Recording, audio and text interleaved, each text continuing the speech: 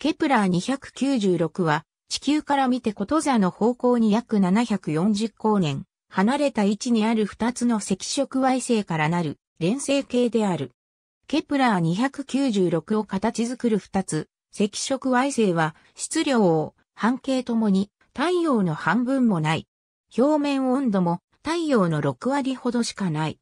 2014年、ケプラー宇宙望遠鏡の観測によって、主星のケプラー 296A に5つの太陽系外惑星が発見された。そのうち、ケプラー 296E とケヘプラー 296F は、ケプラー 296A のハビタブルゾーンに一致している。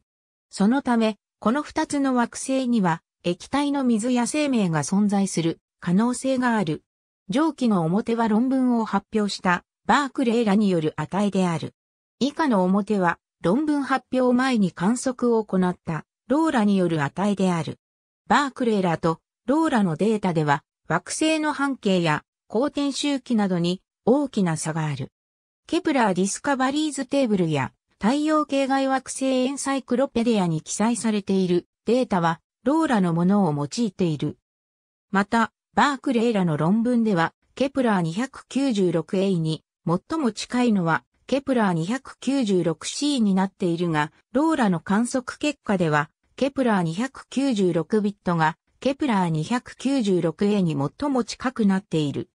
また、論文発表後にはトレス率いるチームが、ケプラー 296E とケヘプラー 296F のみを観測し、バークレーらとローラの観測では詳しくわからなかった軌道離心率と軌道傾斜角を発表した。ありがとうございます。